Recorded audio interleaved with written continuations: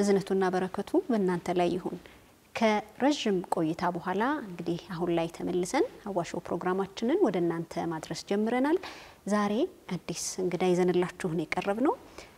ከዚህ ጋር ተያይዞ እንግዲህ ብዙ ነገሮችን እናነሳለን። ነገር ግን እንግዳችን ጋዜጠኛ ነች። ጋዜጠኝነትን በደንብ ታስጎበኘናለች ብዬ ገምታለሁ።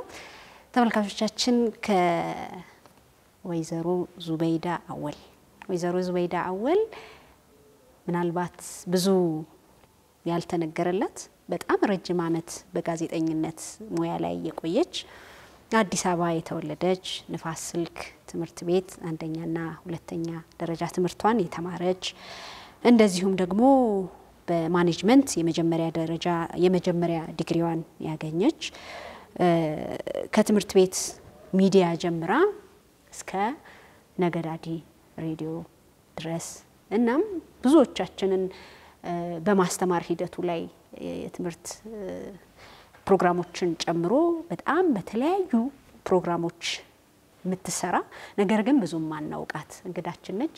ወይዘሮ ዙበይዳን እንኳን ደህና መጣሽ። እንኳን ደህና ቆየሽኝ።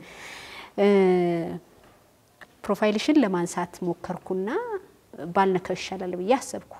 በዙብኝ መጡ ስለ ትምህርት ቤቱ አንዳንድ ነገር ለመስራት እና የታለ ዙበይዳ አወል ብለው ጠየቁ።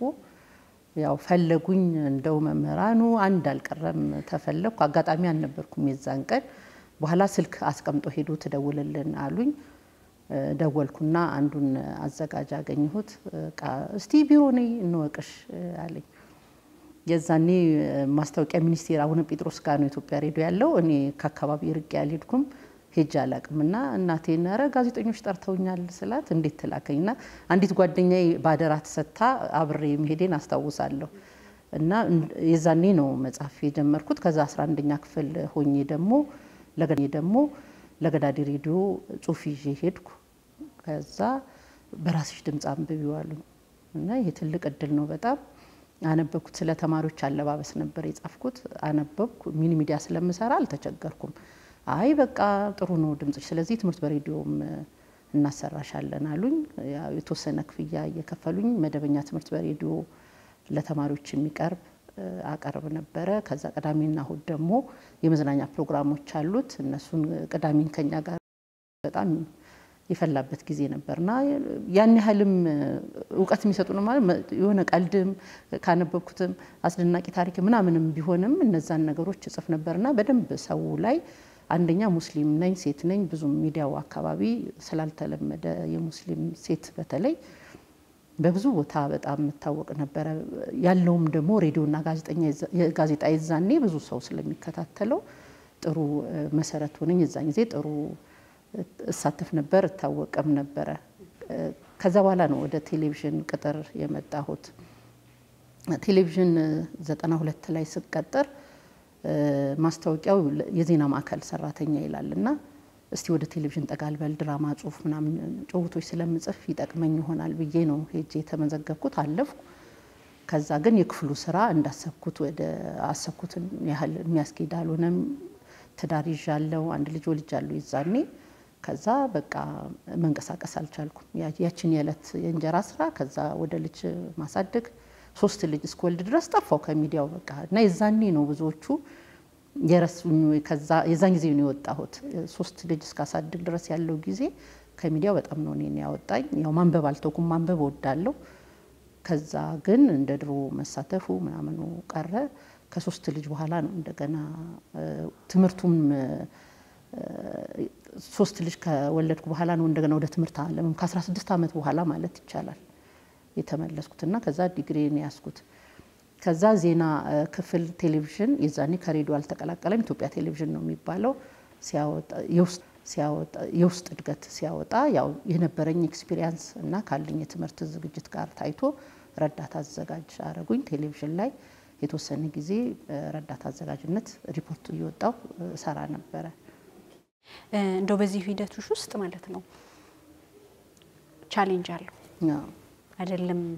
በእናንተ ሰዓት አሁን ላይ እንኳን ነገሮች ተመቻችተዋል ተብለው ሚዲያ ጋር መስራት በራስሽም specially እንደ ሴት እንደ ሙስሊም ሴት በጣም ብዙ ጫናዎች አሉት። ልትሆኛት የፈለግሻት ጋዜጠኛ ነበረች? ሮል ሞዴል የምትሆንሽ እያየሻት የምትበረችባት የ1980ዎቹ አካባቢ ስሰማቸው ማለት ነው። የዛኔ እነ ንግስት ሰልፉ እነ ብርቱካን አረጋወይን ነው ያሉት። ሌሎች አንድ ሶስት አራት ሴቶችም ነበሩ። ስሰማቸው ግን በጣም ደስ ይለኝ ነበረ ዜና ሲያቀርቡ እና እንዲሁ ጋዜጠኛ ሆናለሁ ኢትዮጵያ ሬዲዮ ዜና ዙቤዳ አወል ነኝ ባልኩ ነበረ የዛኔ ግን ማንበቡ ነው የቀደመው። መጀመሪያ በጣም አነብ ነበረ። እሱ ይሆን የገፋኝ እላለሁ። እንደ እንትና ባልልም ቆይ እንደ እንትና ጋዜጠኛ ሆናለሁ ባልልም ማንበቡ በጣም እየበረታ ሲሄድ እንግዲህ ወደ ስነ ጽሁፉም እንግዲህ የተሰጠኛ ነው ማለት ነው። ቦታውን ሳገኘው ወደዛ እየተገፋው እየተገፋው መጣው። እንደ እንትና ባልልም ግን ኢትዮጵያ ሬዲዮ ስሰማ ግን ሁሌ በቃ ዜና ማንበብ የሚለው ነገር ወደ ጭንቅላቴ ይመጣ ነበር። ከቴሌቪዥን ደግሞ በአጋጣሚ ድልድል ሲደረግ ወደ ሬዲዮ ያደረጉኝ ሁለቱ ከተቀላቀለ በኋላ ግን ሴቶቹን ስሰማ ግን እንዳልኩሽ ንግስት ሰልፉ ነኝ ስትል፣ ብርቱካን አረጋዊ ነኝ ስትል፣ እኔም ዙቤዳ አወል ነኝ ባልኩ ዜና አንብቤ ነበር። አሁን እላለሁ አልሐምዱሊላ በጣም ነው ደስ የሚለኝ። አልሐምዱሊላ ቤት ላይ እንግዲህ የ25 ዓመት ታሪክ ነው እያወራን ያለ ነው። በዛ ሰዓት ቤት ላይ አልተቸገርሽም ወጥቶ ማህበረሰቡ ያኔ አይደለም ሰርች ለማድረግ እየሞከርኩ ነበር። ጋዜጠኞች አሉ ወይ? ጸሐፊዎች አሉ ወይ? ከ1950ዎቹ ጀምሮ እስካሁን ባሉት በጣት የሚቆጠሩ ሰዎች ማግኘት አልቻልኩም። ሴት ጋዜጥ ጋዜጠኞች፣ ጸሐፊ ማግኘት አልቻልኩም። በጣም ጥቂት ሴቶችን ያገኘሁት አይደለም ሴቶች ጥቂት ወንዶች ናቸው ያሉት አጠቃላይ እና ለማየት ስሞክር በጣም እንትን ይሆንብኝ። ለዛ ነው ማንን ማንን አይተሽ ነው እንደው የሚለው ጥያቄ የሚመጣው ከዛ ነው። እና እቤት አልተቸገርሽም ወይ? በዛ ሰዓት ያለው የማህበረሰቡ አመለካከት ልጅ ጋዜጠኛ ትሁን ከባድ ነው እና ቤትስ ሚይዝሽ ስራ ሚይዝሽ ትምህርት አልነበሩም? በተለይ በዛ ሰዓት ይሄ በጣም ለእኔ ትልቅ አስተዋጽኦ አድርጓል የምለው ቤት የነበረው ሁኔታ ነው። ቤተሰቦች የስድስት ልጆች ነው ያላቸው፣ አምስት ወንዶች ናቸው፣ ሴት እኔ ብቻ ነኝ። ግን እናታችን ምን አይነት አቋም አላት? ቤት ውስጥ ከተወሰነ አሁን እንጀራ መጋገር ወንዶቹ አይችሉትም የሚባለው በስተቀር ሁሉም ይሰራል። እና እናቴ ይህን ማን ሴት ይህንን ሴት ነው የምትሰራው ያለው ማን ነው? ተነስራ ነው የምትለው። እና እኩል እድል ነው የተሰጠኝ ከወንዶቹ ጋር ሴት ስለሆንሽ የሚባል ነገር አልነበረም። እኔም ሳድግ ሴት ስለሆንኩ የሚባለውን ነገር አእምሮ ላይ አልመጣም፣ አላጣውም። ሴት ስለሆንኩ ይናጣለሁ፣ ሴት ስለሆንኩ ነው እንደዚህ የተደረገልኝ አልልም። ያው ብቸኛ ሴት ስትሆኚ ወደ አንቺ ማድላቱ ነገር ቢኖርም ሴት በመሆንሽ ግን ይሄ ወደኋላ በቃ ልበል እኔ የእኔ ቦታ አይደለም አይ ይሄን የወንዱ ነው እንድል አላረገችኝም። እና የመጀመሪያው ትልቁ ስራ የእናቴ ስራ ነው። እኩል እድል ስለሰጠችኝ እኔም ያንን እድል ለመጠቀም ወደፊት ለመሄድ ትልቅ አስተዋጽኦ አድርጓል እንጂ የዛን ጊዜ እኔ ሚዲያ ላይ ስጽፍ ሙስሊም ሴት አልነበረችም የማውቀው። በኋላ ላይ እንዲያውም አንዲት ሙስሊም ጋዜጠኛ ያገኘሁት ዜና አገልግሎት አላ ይርሃማት ሸምሲያ የምትባል እሷን ነው የማስታውሰው እንጂ የሙስሊም ስም ወላ ሬዲዮ ጋዜጣ ላይ አልነበረም። እና ማህበረሰቡ ግን ምን ጥሩ ነገር ሰጠኝ መሰለሽ ነገር ነው እንጂ ከባድ ነው። በጣም በጣም በጣም አስቸጋሪ ነው። አስቸጋሪ ነው። ከዛ በኋላ እንግዲህ እየገፋሽ መጣሽ በዚህ ሙያ ላይ የሚኒ ሚዲያ አባል ሆነሽ መስራትሽም እንደገና ደግሞ ጽሁፎችሽን በሬዲዮ መላክሽም አንቺ ጋር ነገሮች በደንብ እንዲጎለብቱ አድርጓቸዋልና ወደ ቅጥሩ ስትመጪ የሚይዙን ነገሮች አሉና እንደው እናንተ ጊዜ ላይ ከቅጥሩ በፊትም ሂጃብሽ አላገደሽም? ሂጃብ መልበስሽ contact ም ሲያደርጉሽ መጀመሪያ ላይ ነጋዴም ለመስራት ስትሄጂ challenge ኦች አልነበሩትም ወይ? የዛኔ ለገዳዲ ሬዲዮ ያን ያህል ያው የሬዲዮም ስራ ስለሆነ ያን ያህል ነገርም አላሉትም። ጽሁፍሽን ምናምን ነው የሚያዩት። ከዛ ቴሌቪዥን በኋላ ግን ምን ሆንኩኝ፣ ዜና ክፍል እየሰራው ያው ከውስጥ ስላደኩ ከውጭ ምናልባት ብቀጠር ምናልባት ሂጃቤ አስቸጋሪ ሊሆን ይችላል። ከውስጥ ስላደኩ ግን አላሰቡበትም። የተወሰነ ጊዜ ከሰራው በኋላ ግን በተለይ የሙስሊሙ እንቅስቃሴ ጊዜ አይ stand የምትባል ትንሽ ማብራሪያ የምትሰጫት ስለ ዜናው ትንሽ የምትታይባት part አለች እና አይ ሻሽ አድርገሽ stand እንዳትሰሪ ከዚህ በኋላ ነው የተባልኩት። ከፈለግሽ አውልቀሽ ነው እንጂ ሻሽ አድርገሽ እንዳትሰሪ ያሉኝ። አይ እኔ አላውልቅም አልኩኝ። ከዛ ብዙም ሳይቆይ ሬዲዮና ቴሌቪዥን ሲደለድሉ ወደ ሬዲዮ ገፉኝ። አሁን ነው ምክንያቱ ያ ነው ማለት ቢያስቸግርም ግን ምንም ጥርጥር የለውም challenge እንደሚሆን። ለምሳሌ ዜና ማንበብ ብፈልግ እኔ ያንን እድል አላገኘው፣ ምንም ጥርጥር የለውም። እነዚህ እነዚህ ነገሮች እውነት ነው ወደኋላ ይጎትታሉ፣ ምንም ጥርጥር የለውም። ግን ለኢንተርቪው ለምናምን ብዙ ላትቸገሪ ትችያለሽ።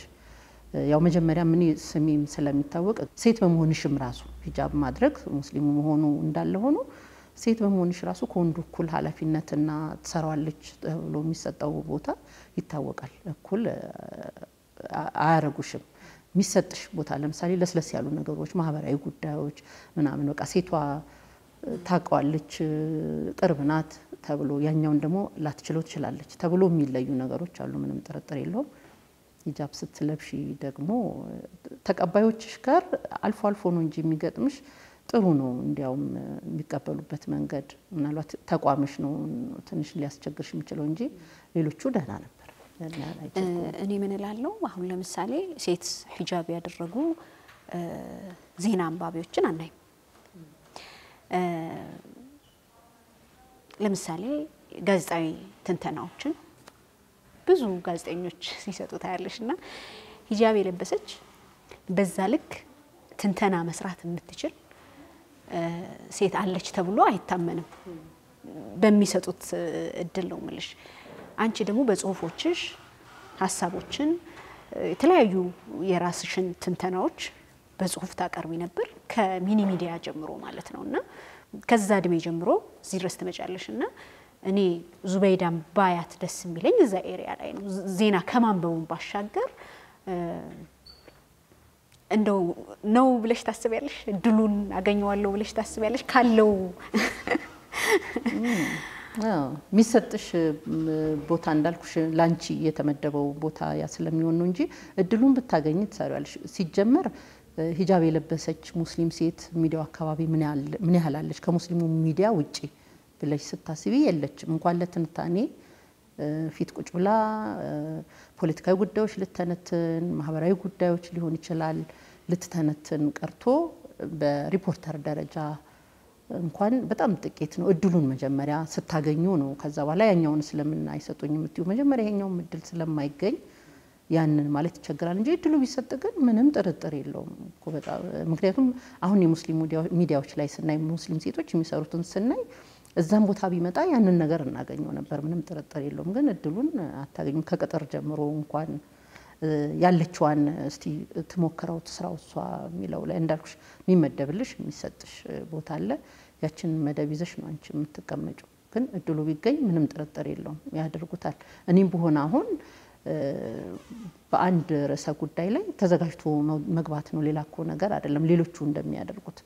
ስለዚህ ያንን እድል ባገኝ እኔም እሰራዋለሁ። ሌላዋም ሙስሊም ሴት እድሉን አግኝታ በነበር አንቺማ እየሰራሽ እኮ ነው። ጽሁፉንም እየላክሽላቸው ነው። ማንበቡን ደግሞ እዚህ ጋር ነጣጥለው ነው። ሬዲዮኑን እየሰራሽ ነው በድምጽ ትንተናውን ደግሞ በጽሁፍ እየላክሽላቸው ነው። ነገር ግን ሁለቱ ተገጣጥሞ እድሉን አግኝቶ የሆነ ቦታ ላይ የመቀመጥ እድሉን የማግኘትና ያለማግኘቱን ኮስሽን ማለት ነው። እንደው እዚህ ጋር አንቺ ግጥም፣ ወግ፣ ሀሳብ፣ አስተያየት የተለያዩ ነገሮችን ትጽፊያለሽ እና እያበቃሻቸው ነው? እነዛን ነገሮች ጽፈሽ ትታያቸዋለሽ ወይስ በመጽሐፍ ደረጃ በምናምን ደረጃ ከፍ አድርጎ የመሄድ ነገሮችን እንዴት ነው እያዳበርሹ ነው? እንደው ጋዜጠኝነቱ ጋር በደንብ ሳንገባ እዚህ ጋር ቀድመሽ ትልኪላቸው የነበሩ ጽሁፎችን የተለያዩ ኢስላማዊ መጽሔት ሄክማ ነበሩ። እነዛ ላይ የተወሰኑ እንትኖችን የራስሽን አስተዋጽኦ ታበረክቺ ነበር እና ወደ መጽሐፍ ያደገ ነው ቆመ? እንዴት ነው? ለራሴ ያህል ጽፈዋለሁ፣ ይቀመጣል። ምክንያቱም እንደ ድሮ ብዙም መጽሔት፣ ጋዜጦች አሁን እንደ ልብ የሉም። ያንን ላውጣ ብቲ። ሁለተኛ ነገር ደግሞ ተቀጣሪ ስትሆኚ እነዚህ ነገሮች ላይ ተሳትፎ እንድታደርጊ ደግሞ አይፈቀድም እና ማለት አሁን ጽሁፍ መጽሔት ላይ ማስወጣት በስምሽ የተለያዩ ቦታዎች መሳተፍ ይከለክላል እና ሚዲያው ላደርግ የምችለው እኔ ስሜቴ ስለሆነ ግጥሞች እጽፋለሁ። እነዛን ግጥሞች አስቀምጣለሁ። ኢንሻአላህ አንድ ቀን ይታተማሉ። ግን በምጽፋቸው በተስፋ መቁረጥ ውስጥ ነው ማለት አንድ ቀን ይወጣሉ ብዬ አይደለም። ስሜቴ ስለሆነ አላህ ያውቃል፣ ግን መውጣት ስላለበት እወጣለሁ። አንዳንድ ማህበራዊ ጉዳዮች ግን አሁንም ድረስ ጻፊው ጻፊው የሚለኝ ነገር አለ። ግን እንዳልኩሽ አንድ አለመፈቀዱ፣ ሁለተኛ በዛ ልክ የሉንም። አሁን ማህበራዊ ጉዳይ ላይ ጽሁፍ የምታቀርቢበት ሚዲያ የለም። ወይ talk show ነው ወይ የመዝናኛ ዝግጅቶች ናቸው የመሳሰሉ ነገሮች። እንደ ድሮ ጋዜጣና መጽሔት የለም። እንደ ልብሽ የምትጽፊባቸው አይደሉም። ግጥም ግን እጽፋለሁ፣ አስቀምጣለሁ አንድ ቀን በመጽሐፍ እናያቸዋለን። ኢንሻአላህ። ተስፋ አደርጋለሁ። ተመልካቾቻችን እየተከታተላችሁ የነበረው የሀዋ ሾውን ነው። ሀዋ ሾው ፕሮግራማችን ላይ ዛሬ ጋዜጠኛ ዙቤዳ አወልን የጋበዝንላችሁ። እንግዲህ ከህይወት ተሞክሯ በጣም ጥቂቱን እያካፈላቻችሁ ነው የምትገኘው። ሳይመችዎ ቀርቶ በቴሌቪዥን መስኮት መመልከት ያልቻሏቸውን የሚንበር ቲቪ አስተማሪና አዝናኝ ዝግጅቶች በተለያዩ የማህበራዊ መገናኛ አውታሮቻችን በቀላሉ መከታተል እንዲችሉ ልንነግሮ ነው።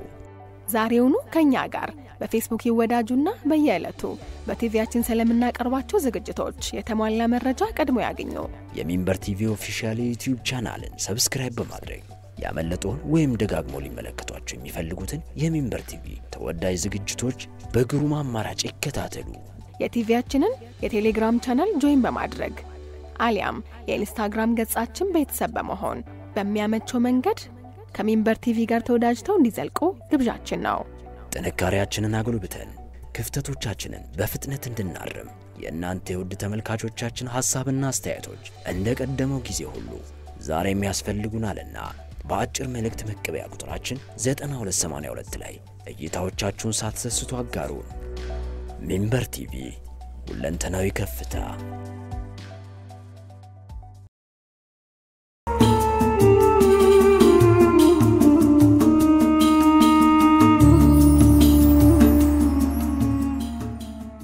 ተመልካቾቻችን ተመልሰን መጥተናል።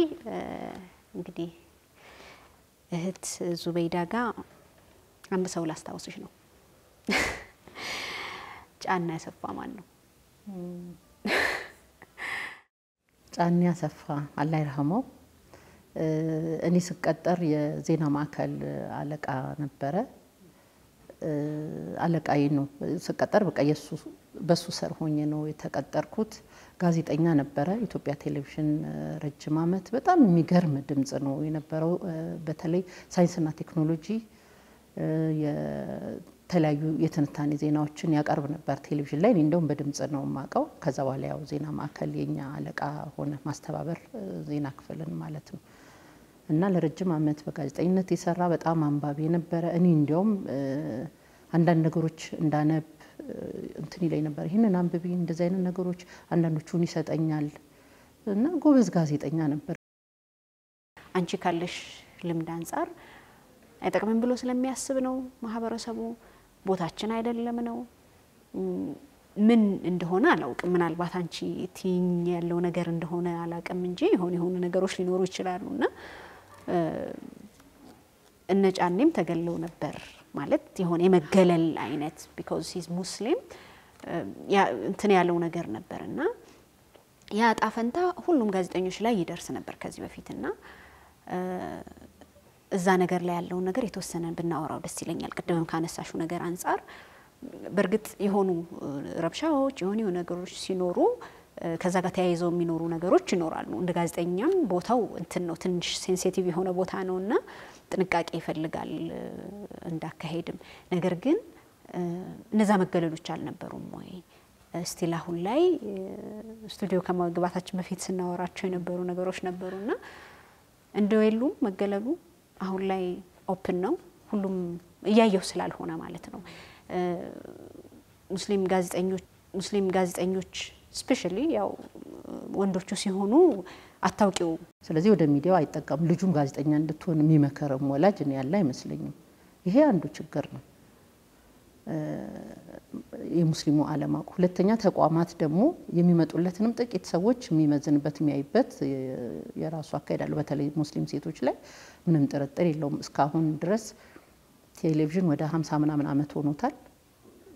ሙስሊም ሴት ጋዜጠኛ ሂጃብ የለበሰች በአንባቢ ደረጃ አታገኝም። በሪፖርተር ደረጃ ታገኝ ትችያለሽ እንጂ ለምንድን ነው አንባቢስ ያልሆነችው? ብቁ ስለማትሆን ነው? ስለሌለች ነው? አይደለም። እድሉን አታገኝም። ይህም በእርግጠኝነት መናገር እችላለሁ። ያው እኔም በተወሰነ ደረጃ ስለደረሰብኝ ሙስሊሙም ደግሞ መሳሪያ መሆኑን ጠቃሚ መሆኑን አውቆ ገፍቶ ቢመጣ ኖሮ ምናልባት ነገሮች ሊቀየሩ ይችላሉ። አንድም ራሱን እንዳልኩ ስላገለለ ጥቂት የሄደውም በዛ መልክ ስለሚገፋ ሁለቱም ዳር ይዘው ነው ያሉት። ግን አስቸጋሪ ነው።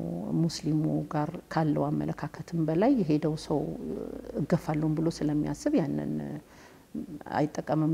አሁን ሙስሊም ሴት አይ እኔም ማንበብ እፈልጋለሁ ዋናው መፈተንሽ ነው፣ ብቃትሽ ነው መታየት ያለበት አይደል?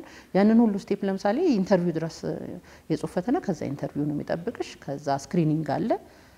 እዛ ደረጃ ምናልባት ደርሳ ለምን ጣላችሁኝ ብላ እንኳን መታ የምትከራከር ያለ አይመስለኝም። አሁን ሂጃብ ለብሳ ሄዳ ለዜና አንባቢነት ብትወዳደር ሲጥሏት በቃ ይህ እንደው ሂጃብ ስለለበስኩ ነው ማለት ነው ብላ ቀርታ ነው መብቴ እኮ ነው ነው መብቴ እኮ ነው ለምንድን ነው የወደኩበት ምክንያቱን ብላ የምትጠይቅ የለችም። ያው በገፉን ልክ እኛም ተገፍተን ቁጭ ስላልን ነው። የሚጠይቅም አካል የለም። እኔን ሲምቦል የሚያደርግ የኔ ምልክት የሆነ ነገር የታለ ስለ እኔ የሚናገር ይሄ ምን አደረገ መሰለሽ? የሚቀርቡ ስራዎችም ሙስሊም ባልሆኑ ሰዎች ሲዘጋጅ ብዙ ሙስሊሙን የሚያስከፉ ነገሮች፣ ሃይማኖታዊ ስርዓቱ የማይላቸውን ነገሮች፣ ባህላዊና ሃይማኖታዊ ነገሮች የተቀላቀለበት ነገር፣ እነዚህ አይነት ነገሮች በጣም ይቀርባሉ። እኔ አንዳንዴ እየዘገነነኝ እሰማለሁ። ይሄንን ያመጣው አንደኛ ሙስሊሙ የለም ውስጥ እንዳልኩሽ ዳር ሆኖ ግን ስለ እኔ አላወራም ባይ ስለሚበዛ ነው። እነሱም ደግሞ ምን ያህልስ ገፍቶ ጥርት ያለ ነገር ለማቅረብ ይታትራሉ። ያን ያህል ምንስ አስለፋቸው እና አሁን ተቋማትን ብቻ ሳይሆን ሙስሊሙንም መውቀስ አለብን። ራሱ ያልገባበትን ሊሳተፍ ያልፈልገውን የሚመጣበትን challenge ሁሉ አልፎ ለምን እኔም ማለት ያልቻለበትን ሁኔታ ዝም ብለን ተቋሙን ብቻ መውቀስ የለብንም። ግን መቀየር አለበት። ይህ አካሄድ መቀየር አለበት። ምንም ጥርጥር የለውም። ቦታው ላይ ብቁ እስከሆንሽ ድረስ ቦታው የሚጠይቀውን ነገር እስካሟላሽ ድረስ አንቺ እንደ መብት ያንን መጠቀም አለብሽ፣ መጠየቅ አለብን። ስለዚህ ሙስሊሙ አሁን ማሰብ ነው ያለበት። ለምን ማለት ነው ያለበት መብቱን መጠቀም አለበት። እሱን የሚመለከቱ ነገሮች ሲቀርቡ ተገቢ ያልመሰለው ነገር አሁን ችግሩ ደግሞ እንዲህ አሉን ብሎ ዳር ይቆላል ይቀመጣል እንጂ እንደዚህ እኮ አይደለም እንደዚህ ነው ብሎ ሊያብራራ የሚመጣም የለም። ብዙ ጊዜ ያለሁኝ ሰው ነው የሚቸገሩት። የሚያብራራላቸው ሰው ሙስሊም እሺ አይልሽም። በዚህ ጉዳይ ላይ ማብራሪያ ሰጠኝ ስትዩ እሺ ብሎ የማይሳተፍ ከሆነ ታዲያ ምን አርግ ነው የምትዩ ተቋሙን እና አስረዳኝ ነገር የምታውቀውን ስቲ ስለዚህ አበላሸብኝ ብለሽ ልትወቅሹ አትችም ያንን ተቋም ሙስሊሙ ጋር ያለው ቸልተኝነት በጣም የበዛ ነው ከተቋማቱም በላይ። ስለዚህ መውቀስም ካለብን ሙስሊሙን ነው መውቀስ ያለብን።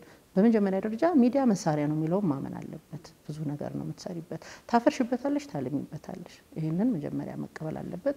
ተጽዕኖቹ ግን እንዳሉ ነው፣ ምንም ጥርጥር የለውም። እንደው በሚዲያ ውስጥ ባለሽበት ሰዓት የተለያዩ challenge ኦች አሉ። አንድ በምትሰሪበት ሰዓት እንደው እናት ሆኑ ቤተሰብ ይዞ ልጆች እያሳደጉ ከዛ ሚዲያ ላይ መስራት በጣም የራሱ የሆነ በቃ ከባድ ነገሮች አሉት እና እንዴት ነው የተሻገርሽው? ከባድ ነው። ያው አሁን ላይ ሲያወሩት ስላለፈ ቀላል ይመስላል እንጂ በጣም ከባድ ነው። እንደ ሴት ማህበረሰቡ ያስቀመጠሽ ቦታ አለ፣ ቤት ውስጥ የሚጠበቅብሽ ነገር አለ። ስራው ደግሞ እረፍት የለውም። ቅዳሜና እሁድ አይልም፣ የበዓላት ቀን አይልም፣ ጠዋት አይልም፣ ምሽት አይልም። ስራሽ ከሆነ ከተመደብሽ ተመደብሽ ነው። ስለዚህ እንደ ሴት በጣም ከባድ ነው።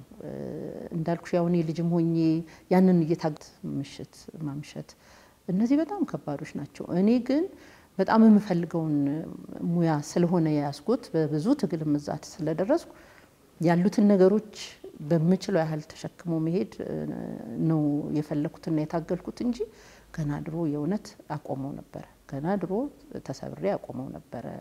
በቃ ሁለት ምርጫ ነው የሚሆንብሽ፣ ቤተሰብና ከስራሽ ጋር እኩል መሄድ የማይችሉ ሁለት ነገሮችን በተቻለ መጠን እኩል ማስኬድ ከባድ ነው። ግን አልሐምዱሊላ እናቴ በጣም ታግዘኛለች ብዙውን ነገር። ስለዚህ አብዛኛውን ነገር አሁን በተለይ በዓላት ሲመጡ ዋዜማ ስራ ትዊት ይቻለሽ፣ አምሽቶኛለሽ እነዚህ ነገሮች ከባድ ናቸው እና እነዚህ እነዚህ ነገሮች እንዳልኩሽ እናቴ ስለምታግዘኝ በተቻላት መጠን እኔም ደግሞ እጅ አልሰጥም፣ የምችለውን ያህል ጥረት አደርጋለሁ እንጂ ምቹ አይደሉም። ከባድ ነው የሚዲያ የስራው ባህሪና አንቺ እንደ ሴት ከሚኖርብሽ ኃላፊነት አንጻር መወጣት በጣም ከባድ ነው። ብዙ ያደክምሻል። እንደው እዚህ ጋር ይሄንን በጣም challenge ያለውና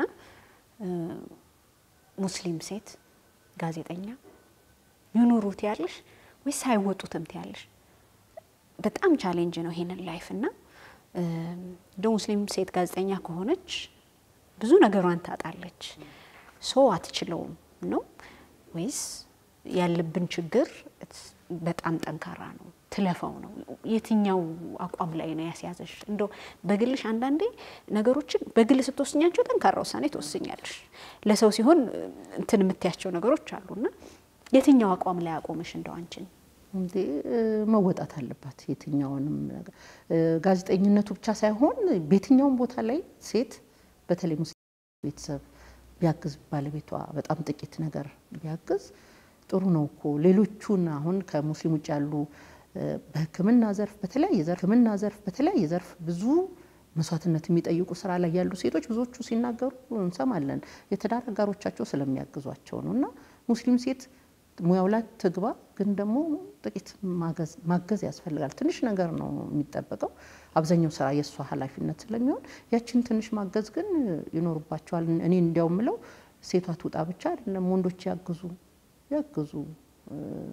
ይሄ የእሷ ብቻ ኃላፊነት የእሷ ብቻ ኃላፊነት አይደለም። ሁለተኛ አሁን ጊዜው የቴክኖሎጂ ነው። ቴክኖሎጂው ደግሞ የሚጠይቀው ነገር አለ። በዛ ልክ ነው አንቺም መቅረብ ማዘጋጀትም የሚኖርብሽ። ስለዚህ ሙስሊም ሴት በዛ ደረጃ ትፈልጋለች ማለት ነው፣ እንደ ጊዜው መሆን ስላለባት። ያንን ስትመጣ ጥቂት ማገዝ ነው የሚያስፈልገው። እሷ ግን የትኛውንም ነገር መሸከም አለባት። ይሄንን ማሰብ አለባት መግባትም አለባት። ተስፋ መቁረጥ አያስፈልግም። እንዲህ ዝም ብሎ ተስፋ መቁረጥ አያስፈልግም ሲባል አቅልለን ማየት የለብንም። በእርግጥ ግን የሚመጣውን ሁሉ ለምን ደሞ ትሸከመው? ትሸከም እንጂ ትሸከም ማየትም አለብን። እነሱ ይህንን ሁሉ አልፈው ነው እንደዚህ የደረሱት። አሁን እኛን እየሰሙ ማለት የለባቸውም። እንዲያውም አሁን ጥሩ ነው ትምህርት ቤት ጀምሮ ልጆቻችንን ሴቶቹን እኩል እድል እየሰጠን ስለማንመጣ እነሱም እየገፉ የሚመጣውን ነገር እየተሸከሙ የማለፍ እንትናቸው በጣም ደካማ ነው እና ቤተሰብ በተለይ ከትንሾቹ ልጆች ጀምሮ ሲያሳድግ እኩል እድል እየሰጠ ቤት ውስጥ even የመናገር ሀሳብን የመግለጽ ሁኔታ የወንድና ሴቷን ስታይ ቤት ውስጥ እኩል አይደለም። ወንዱ እንደ ልቡ ሲናገር፣ ሴቷ ግን ዝም እንድትል እንፈልጋለን እኛ እሱ በተናገሩ ጉዳይ ላይ አንቺስ ምንድን ነው ያለሽ ሀሳብ? እስቲ ምንድን ነው ያለሽ አቋም? እንዲከራከሩ ማድረግ የሷን ሀሳብ መስማት ይኖርብናል። እንደዛ ስለማይሆን አሁን ብዙ ጊዜ ለስራ ሲሄድ ትምህርት ቤቶች አካባቢ በተለይ ሙስሊም ልጆች በጣም ጎበዝ የሆኑና ከ section አንደኛ ይወጡና ከዛ interview ላርግ እስቲ እሺ አትልም። እሺ ብትልሽ ሀሳቧን በሚገባው መልክ መግለጽ አትችልም። ይሄ ሁሉ ቤት ውስጥ ያለው ነገር ስለሆነ ቤተሰብ የዚህ ላይ በጣም መስራት አለበት። ሙስሊም ሴት ልጆቹ ላይ መስራት አለበት። የሌላ ሰው ለምን ሁሌ እናደንቃለን? ልጃችን እኮ እዛ ደረጃ ደርሳ ማየት እኛም ይኖርብናል። በጣም ነው የምናደንቀው። ስለዚህ ወላጅ ያልሰራውን እኮ ያች ልጅ እዛ አልደረሰችም። ስለዚህ ልጄ ላይ መስራት አለብኝ ማለት ነው እንደዛችን ልትሆን። ቤተሰብ በጣም ትልቅ ኃላፊነት አለበት። ስለዚህ ከልጆቹ ላይ የስራ ነው የምለው። ያው አንቺ ጋር ብዙ አርአያ እንወስዳለን። ለዩኒቨርሲቲ የሚያደረሽው ልጅ ስላለ አዎ አድርሻለሁ። ላይም ታችም ድረስ እናት ሆኖ ጋዜጠኛ ሆኖ ነገሮችን challenge አድርጎ በተለይ ደግሞ ሰው ባልነቃበት ሰዓት ወጥቶ መጋፈጥ፣ ለብቻ ራስን መስራት፣ ማንንም ሳያዩ ራስን እየሰሩ መውጣት የራሱ የሆነ ተጽዕኖ አለው። ነገር ግን ያንን pass አድርጎ ደግሞ እዚህ ጋር መድረስ ይቻላል የሚለውን ደግሞ ማሳየት አለበት የሚል ሀሳብ ነው ያለኝ። ሴት ስለሆንሽ ምናምን ሳይሆን እንደው ስራው ራሱ እንደ ሙስሊም ሙስሊም ባልሆን ብለሽ ብዙ መቼስ ጋዜጠኛ ብዙ ነገር ያያል፣ ብዙ ነገር search ያደርጋል፣ ብዙ ነገር ይጋፈጣል። በተለይ ደግሞ ሙስሊም ሆነሽ ሙስሊም ላልሆነ ማህበረሰብ ዘገባዎችን ይዘሽ ስትቀርቢ የሆነ የሆኑ ስራዎችን ይዘሽ ስትቀርቢ የተሳቀቅሽበት moment አጋጥሞሽ ያውቃል? አይ እንደዚህ አይነት ዘገባዎች ሙስሊም ባልሆን ኖሮ እንደው ይህንን ለማለት የሚያስብሉ አልገጠሙኝም። አብዛኛው እኔ የምሰራቸው እንትኖች የምላክባቸውም ሪፖርቶች ማህበራዊ ጉዳዮች ስለሆኑ ግን እዚህ ላይ የምለው ጋዜጠኛ ባልሆንኩ ወይ ይህንን ባላየሁ የሚያስብሉሽ አጋጣሚዎች ይመጣሉ። ምክንያቱም አቅመ ቢስ ያን ነገር ሰማሽው፣ ችግሩን አየሽው፣ እናስ ዜና ከማድረግ አታልፊም እና በቃ ምንም ላላደርግ የሚል ስሜት ውስጥ እንድትገቢ የሚያደርጉሽ ብዙ ነገሮች አሉ በየዕለት ህይወትሽ። ከዚህ ጋር ደግሞ ምን ነው ሙስሊሙ የሚያስብሉሽ በተለይ ከማህበራዊ ጉዳዮች ላይ ነው እንዳለ የምሰራው ብዙ ጊዜ ከሴቶች ከህፃናት ጋር የተያዙ ስራዎች ሳይ ሙስሊሙ ኃላፊነት አለበት፣ በጣም ኃላፊነት አለበት እና ብዙ ሙስሊሞች በተለይ የቲሙ ህጻናት ማሳደጊያ ውስጥ ሙስሊም ህጻን ማግኘት በጣም የሚያም ነገር ነው። እውነቴን ነው። የአንዲት ልጅ ነገር ብነግርሽ ደስ ይለኛል። ራህመት የምትባል የት አገኘኋት መሰለሽ? ቀጨኔ ህጻናት ማሳደጊያ የአፍሪካ ህጻናት ቀን ሲከበር ነው እና እዛ የህጻናት ማሳደጊያ ውስጥ ነው የምታድገው። ቴሌቪዥን ነኝ የዛኔ ልሰራ ሄድኩና ከበዓሉ በኋላ ልጆች ስጡኝ ስል ከሶስቱ አንዷ እቺ ራህመት የምትባል ናት። መጀመሪያ ስናወራ ራህመት እንደምትባል እናቷ ደካማ እንደሆነች ታላቅ እህት እንዳላት አባታቸው እንደሞተ እና ታላቅ እህቷ ሌላኛው ህጻናት ማሳደጊያ እንዳለች አወራችኝ እና እንደሚናፍቋት ሁሉ አወራችኝ። አሳዘነችኝ በጣም። ከዛ interview ጀመርን። ስለ በዓሉ ምናምን አወራን እና ምንድን ወደፊት ምኞትሽ? ምንድን ነው ህልምሽ አልኳት። እኔ ምኞቴ ከእናቴና ከእህቴ ጋር መኖር ነው አለች። በጣም ነው የደነገጥኩት። ከዛ አይ ስታድጊ ተምረሽ ኢንጂነር ነው ዶክተር ነው በቃ ያላስመረጥኳት ነገር የለም። ዝም ብላየች። ጠበኩ ጠበኩ። ከዛ ያው ካሜራውን አቁም በቃ አራውን አቁም በቃ አመሰገንኳት እና ያን ነገር እንዴት ልጠቀምበት በጣም እንትን የሚል ነው። ግን ራሴን ምን አመመኝ። እንዲቺ ልጅ ምን አድርጌ ነው ምላት በጣም ትንሹን ከእናትና ከቤተሰብ ጋር ማደግ ህፃን መብት አለው ተብሎ ከሚጠቀሰው የመጀመሪያው መብቱ ከሚፈልገው ሁኔታ የፈለገውን ሃይማኖት የመከተል የፈለገበት የመኖር ከሚፈልገው ጋር የመኖር መብት ተብሎ የተቀመጠለት ነው። ትንሿን መብት አታራህመት እንዴት ነው እኔ ትልቁን ዶክተር መሆን የምጠይቃት? የኛ ልጆች እኮ ሁሉ ነገር ስላሟላንላቸው ዛሬ ዶክተር ነገ እንትን የፈለጉትን ይመኛሉ። እሷ ግን ትንሹን ነገር ነው ያጣችውና ራህመት ለምን እዛ ተገኘች ብዬ በጣም ነው ያመመኝ። ጎረቤት አልነበራትም፣ ቤተሰብ ዘመድ አልነበራትም፣ ሙስሊም ጎረቤት የላትም። ለመሆኑ እናትየው ይዛቸው እንድታሳድግ ማድረግ የሚችሉበት ሁኔታ ሙስሊሙ ላይ በጣም ብዙ ጊዜ እንደዚህ አይነት ነገሮች ይመጡብኛል። ጎረቤት አውቃለሁ እንላለን፣ ዘመድም እንደዛው ያሉትን ሙስሊሞች አብዛኛዎቹን ስታይ ያሉበት ሁኔታን ስታይ እና ሙስሊሙ እንደ ሙስሊምነቱ ማድረግ ያለበት መወጣት ያለበትን ነገር አልተወጣም። እስቲ ማህበራዊ ኃላፊነትም አለበት እንደ ሙስሊም ግዴታም አለበት። እንደ ማህበራዊ ኃላፊነት ደግሞ ማህበረሰባዊ ኃላፊነቱን መወጣት ይጠበቅበታል እና እነዚህ እነዚህ ነገሮች እንትን ይሉኛል ሁሌ እና አንድ የሆነ ቀስቃሽ ያስፈልገዋል ሙስሊሙ ብዬ የማስብባቸው እንደዚህ አይነት ነገሮች ይገጥሙኛል። ተመልካቾቻችን እየተከታተላችሁ ያላችሁት የአዋሾ ፕሮግራማችንን ነው። ዛሬ ከጋዜጠኛ ዙበይዳ ጋ ነው እያወራን ያለ ነው ስለ ገጠሟት ነገሮች እና የተለያዩ ነገሮችን እናነሳለን። ከፍታ ቆይታ በኋላ ተመልሰን እንመጣለን። አብራችሁን ቆዩ።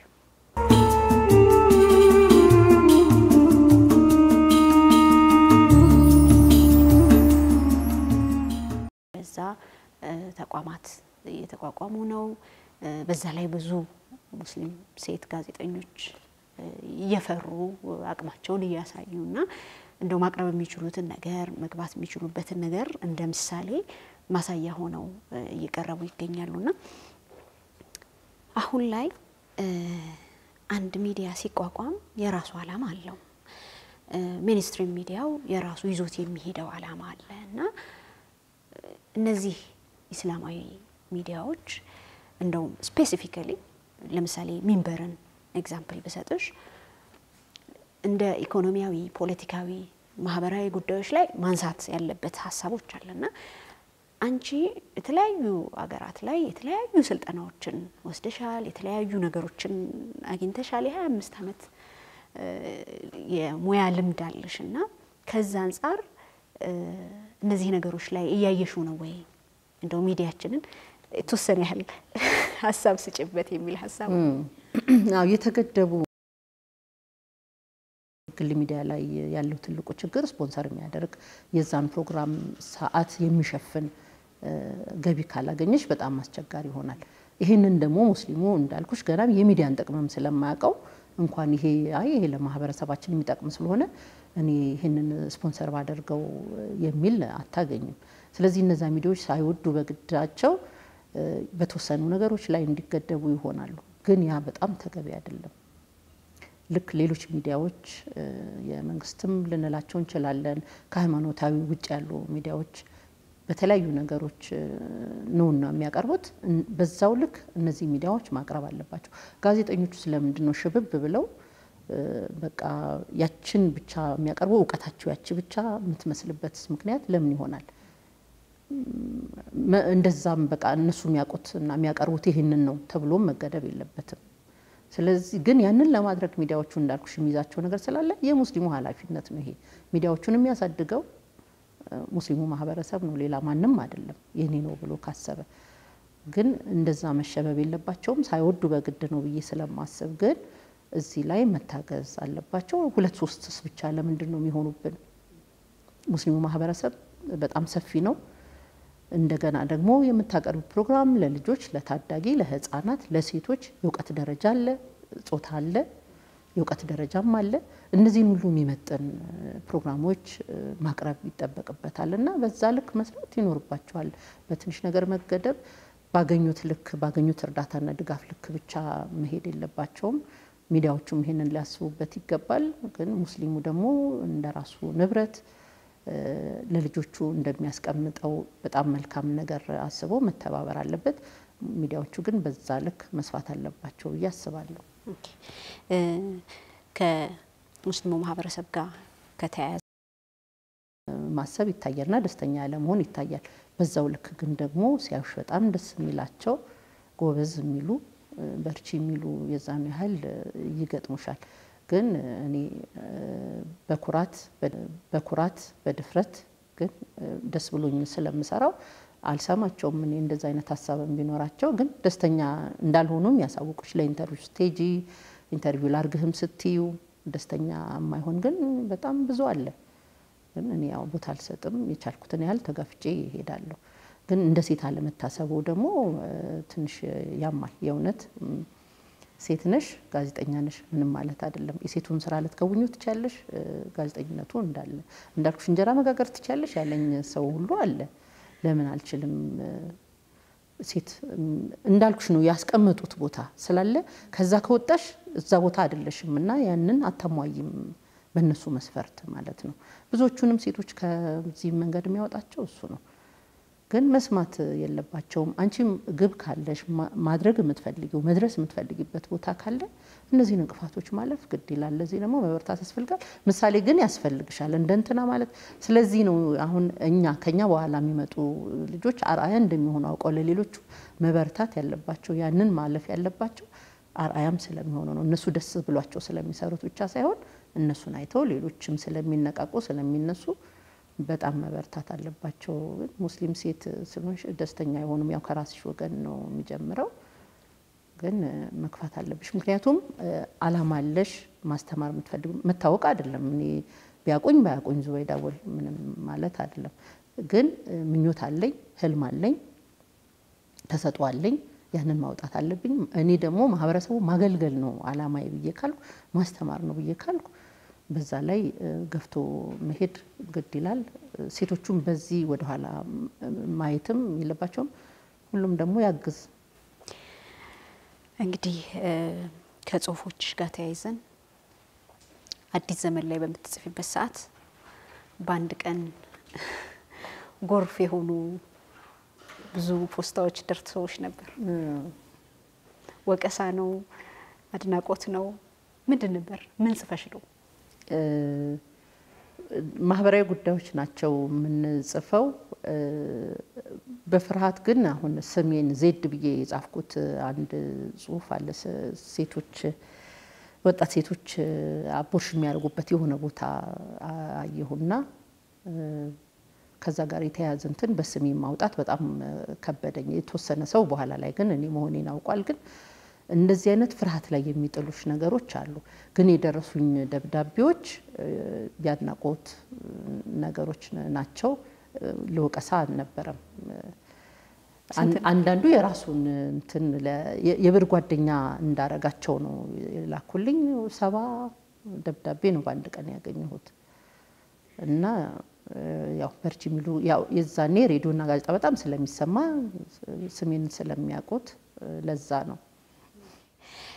እንደው አሁን በዛ ልክ social media ውን የተለያዩ ቦታዎችን እንጠቀማለን። አሁን ላይ ደግሞ ያንን ተክቶ የመጡ እንትኖች አሉና እንዴት ነሽ እዛ አካባቢ ላይ? ቅድም እንዳልሽ ነው ማለት የሚያስሩሽ ነገሮች አሉ ካሉ ህግ ጋር ከምትሰሪበት ተቋም ጋር ማለት ነው እና ምንድን ነው ግን የምታቀጀው? እየሳበሽ ያለ ነገር የለም ወይ? አሁን ላለው ማህበረሰብ ዙበይዳ የሆነ ሰዓት ላይ እጅግ የገነነች ነበረች። ማነች ዙበይዳ? ዙበይዳ አወል ሁሉም የሚያውቃት ጋዜጠኛ፣ ጸሐፊ፣ ግጥም የምትጽፍ የራሷን ትንታኔዎች የምትጽፍ እህት ነበረች እና የሆነ ሰዓት ላይ ያው በልጅ ማሳደጉ ምክንያት ለተወሰነ ጊዜ መጥፋትሽ ከሰው አእምሮ ላይ ወይም ደግሞ የሆነ generation gap እኮ ይፈጥራል። ልጅ የነበረው ወጣት ሲሆን በዛ ዘመን ላይ የማያውቀው አይነት ሰው ትሆኝበታለሽ እና አሁን ላይ የመመለስ እቅድ የለሽም ወይ? እዛ የነበረው አይነት ስሜት ላይ እንዴት ነሽ? በጣም የመመለስ እቅድ አለኝ። social media ው አሁን እንደዚህ አይነት ነገሮችን ብዙ እድል የሚሰጥም ባይሆን እኔ ግን ምን እጠቀምበታለሁ መሰለሽ፣ በተለይ ፌስቡክን አሁን የራህመትን ታሪክ አንድ ቀን አውጥቼው በጣም ብዙ ሰው እንደግፍሽ ማለት ልጆቻችንን ህልሞቻቸውን እንዲሆኑ እናደርጋቸው ብዬ ነው ያወጣሁት እና በጣም ብዙ ሰው እናግዛለን እንዲህ አይነት ልጆች ካሉ የሚል ነገር ማአት ደረሰኝና ደስ አለኝ። ስለዚህ ይህንን አንድ እንደ መጠቀሚያ ባደርገው ይሻላል የሚል ነገር መጣልኝ። ግን የራስሽን ትዝብትሽን አሁን የዛኔ ትዝብት ምናያቸው አይመችሽ ረጅም ጽሁፍ ያው ሲሞር ከሚለው ወዲህ እኮ ማንም አያነብም። ትንሽ አየት አድርጎ እሱ እሱ ነው እንጂ የሚገድበኝ እንደ አንድ ጥሩ መሳሪያ ግን ድሮ የነበረውን ስሜት ላወጣ ፈልጋለሁ። አሁን አንዳንድ መጽሔቶች ምናምን አሁን የጀመሩትን ሳይ እንደ ድሮ መጽሐፍ በጣም ያስመኘኛል። እድሉን ካገኘው ግን ወደኋላ አለም እየጻፍኩ ማስቀመጣቸው ነገሮች ግን አሉ። አጫጭር ልብ ወለዶች ደግሞ አንዳንድ መድረክ ሳገኝ ለማቅረብ አሁን አሁን ጥረት እያደረግኩ ነው። ያችን ዙበይዳ ግን እመልሳታለሁ። ያው መሀል ላይ ያለው generation የማያውቃትም ቢሆን አሁን ላይ ያለው ግን ስራዎችን እንዲያውቅ ስለምፈልግ እመልሳታለሁ ኢንሻአላህ። normally በአንቺ የህይወት ውጣ ውረዶች መካከል ብዙ ብዙ አንቺን ተከትለው የሚፈሩ በጣም ብዙ እህቶች ይኖራሉ ብዬ አስባለሁ። ብዙ ስሜቱ ያላቸው የሚጽፉ እና በደንብ ከፊት ሆኖ የመምራት አይነት ነገር ይኖራል እና ይበርታ ነው ብዬ የማስበው። እና እንደው በአጠቃላይ ሙስሊም ጋዜጠኞች አሉ በአሁን ሰዓት ላይ። እንደ ሙስሊም እናት እንደ ሙስሊም እህት ምንድን ነው እንደው ልትያቸው የምትችው? እንደ ጠቅለል ስታደርጊው ልታስተላልፊው የምትችው መልእክት ምንድን ነው? ምክንያቱም ውስጥሽ ላይ በጣም ብዙ ነገሮች ወዲህ ወዲያ የሚሉ ነገሮች ሊኖሩ እንደሚችሉ አስባለሁ እና challenge ኦች አሉት በሙስሊምነትሽ በሴትነትሽ እንደ ማህበረሰብ አይደለ እድር የለሽም እቋቋሟለሁ ችለዋለሁ ማለት የመጀመሪያ መሳሪያቸው ካላደረጉ በጣም ከባድ ነው። እንዳልኩሽ ከቤተሰብ ከማህበረሰብ፣ ከዛ በኋላ ተቋማቱ የሚያደርሱብሽ ተጽዕኖ እነዚህን ሶስት ነገሮች ማለፍ ነው የሚጠበቅብሽና በጣም ከባድ ነው የሚሆነው። ያንን መጀመሪያ መወሰን እችለዋለሁ አደርጓለሁ ብሎ ማሰብን መሳሪያ ካላደረጉ በጣም ከባድ ነው። መታገልም ያስፈልጋል። ሚዲያዎቹ እድል ስለማይሰጡ ለምን ብሎ በቃ አልሰጡኝም ብሎ ከመቅረት የሚችሉትን አማራጭ እንደምትችይም ማሳየት በቅጥር ብቻ አይደለም፣ በተሳትፎ በተለያዩ ነገሮች ማብራሪያ በመስጠትም ተሳትፎ በማድረግ በነዚህ ነገሮች መምጣት አለባቸው። ሌሎቹ የሚያዩት እኛን ስለሆነ ሌሎቹ ከታች መምጣት የሚችሉት እኛን ሲያዩ ስለሆነ ሙስሊም ሴት ጋዜጠኞች እዚህ ላይ መበርታት ይኖርባቸዋል። ግን አሁን ሳይ በብዛት ጋዜጦች ላይ ሬዲዮ ላይ በጣም ብዙ ታገኛለሽ። ሙስሊም ሴቶች ሪፖርት ስንሄድ ሶስት አራት ሂጃብ የለበሱ ሴቶች አገኛለሁ ከተለያየ ሚዲያ። አብዛኛው ግን ሬዲዮ ነው፣ ጋዜጣ ነው። ቴሌቪዥን ላይ በጣም ጥቂት እጅግ በጣም ጥቂት ነው የምታገኘው። ስለዚህ ያንንም የሚያስፈልገው መስዋዕትነት እየከፈሉ እዛ ድረስ መጓዝ ያስፈልጋል። መጀመሪያ ግን የራስሽ ጥንካሬ እችለዋለሁ ብሎ ማሰብ ግን ግድ ይልሻል። ይሄንንም መሳሪያ ማድረግ አለባቸው። ሁለተኛ ነገር አሁን ማየው ጋዜጠኞች ጋር የማየው ነገር ጋዜጠኝነትና ንባብ የተያያዘ ነገር ነው። የማያነብ ጋዜጠኛ ጋዜጠኛ መሆን በጣም ከባድ እኮ ነው። ከህብረተሰቡ ቀድመሽም መገኘት አለብሽ። ዛሬ በተለያየ አማራጭ መረጃ ያለውን ሰው ነው የምታስተምሪው የምትነግሪው። ስለዚህ የሚያውቀውን ሳይሆን ከእሱ ሻል ያለ እውቀት ኖሮሽ መተንተን በምትችበት ደረጃ ነው መሆን ያለበት። ጋዜጠኞች ጋር አሁን የማየው ነገር ክፍተቱ እሱ ነው። ከንባብ የንባብ ባህላችን አሁን በጣም ደካማ ነው። ስለዚህ አሁን ሙስሊም ሴቶችን ስለሆነ ያልሽኝ እነሱ በዚህ ሃይማኖታዊ ጉዳዮችም ማህበራዊ እንዳልሽ ፖለቲካውም የዲንም የዱንያውንም ጉዳይ በማንበብ ራሳቸው ማሳደግ ማጠንከር አለባቸው። ግን ጋዜጠኞቹ ሙስሊም ብቻ ሳይሆን ሙስሊም ሴቶች ከመረጃ በጣም የራቁ ናቸው። በጣም ውስን ነገር ነው የሚያውቋት። በየእለት እለት ህይወታቸው አዳዲስ መረጃ የማግኘት የማወቅ እንትናቸው ደካማም ነው አያውቁምም። እና በጣም እኮ ይሄ ተገቢ ያልሆነ ነገር ነው። በጣም ተገቢ ያልሆነ ነገር ነው። ከወቅቱ ጋር መራመድ አለ። መረጃ ማወቅ አለብሽ። ልጅሽን የምታስተምሪው አንቺ ነሽ። ልጅሽ አንቺን እያየ ነው የሚያድገው እና ከልጅሽ ጀምሮ አንቺ ማስተማር የሚጠበቅብሽ አንቺ ከመረጃ ነፃ መሆን የለብሽም። ዓለም በየዕለቱ አዳዲስ ነገር የምታገኝበት ጊዜ ነው። ስለዚህ ያንን ማወቅ ይጠበቃል። ሙስሊም ሴት በአጠቃላይ ጋዜጠኞቹ ብቻ ሳይሆን ወቅታዊ ነገሮችን በማወቅ በማንበብ እውቀት በመጨመር ባለው ላይ በጣም መበርታት አለበት። ያለውን ነገር ብቻ ይዞ መቀመጥን እንደ አማራጭ መያዝ የለበትም። ከሌሎች አንጻር ስንታይ እዚህ ላይ በጣም ምክንያቱም interview ላረግ ሲሄድ አንዳንዴ አፍራለሁ። ኧረ እንደዚህ አይነት ነገር አለ እንዴ ያልሰማሁም ሲሉሽ እንዴ የት ሆነው ነው ብለሽ ትያለሽ። እና ዋሽተው አይደለም እውነት ነው አያውቁም። ለምንድን ነው ግን የማያውቀው? ሌላው ሰው ግን ስለተማረ አይደለም ባይማርም ከመረጃ ጋር ያለው ቁርኝት ምክንያቱም ይገባኛል ማለት ሰው እኮ አይደለ ቴሌቪዥን እያየ ትልቅ መሳሪያ ነው እጁ ላይ ያለው እና ካልፈለገ ካልተመቸሹ ይቀይርሻል። በእጁ ነው ብዙ ነገር የሚሰራው እና እንዲህ ነገሮች በቀለሉበት ሰዓት በሞባይሉ ብዙ ሀራምም ሀላልም መስራት በሚችልበት ሰዓት ይህን ነገር ግን እንዳትሰማ እንዳታስብ። ከአንተ ጋር ያለኝ ህይወት እንዴት እንደሆነ just እንዳታሰላስል እኮ በአእምሮህ እንደማለት ነው ለእኔ የሚሰማኝና ይህንን ፕሮግራም እንዳታዩ። ስለ ሴቶች እንደዚህ የሆኑ ነገሮች ብዙ አትስሙ ምናምን ተብለው የሚታገዱ ሴቶች እንዳሉም ይደርሰኛል። እና እኔ ብዙ challenge ነው በእርግጥ እኔ ሰው አትስማ አታስብ ተብሎ አንድን ሰው ማቆም ከባድ ነገር አለውና እንደ አጠቃላይ እንደው ልጆችም ጋር እናት ስትሆኚ ብዙ ልጆች እንትን ትያለሽ ታፈሪያለሽ አንቺ ነሽ የምትመሪው። እና እንደው የመጨረሻ ልጆች ላንቺ ያላቸው ቫሊዩ እንዴት ነው? እንደ ሙስሊም ማህበረሰብ ያው ብዙ አውርተነዋል እና በጋዜጠኝነትሽ እንዴት ነው ስሜታቸው? የእነሱን ስሜት ከመናገር በፊት አሁን ያነሳሹ በተለይ ከመረጃ ጋር ተያይዞ ባለቤቶቻቸው የሚገድቡ ወንዶች ካሉ በጣም ትልቅ ጥፋት እየሰሩ ያሉት ልጆቻቸው ላይ መሆኑን ቢያስቡት ደስ ይለኛል። ምክንያቱም ልጅ የምትከተለው እናቷን ነው። ብዙዎቹ ልጆች ምሳሌ የሚያደርጉት እናቶቻቸውን ነው።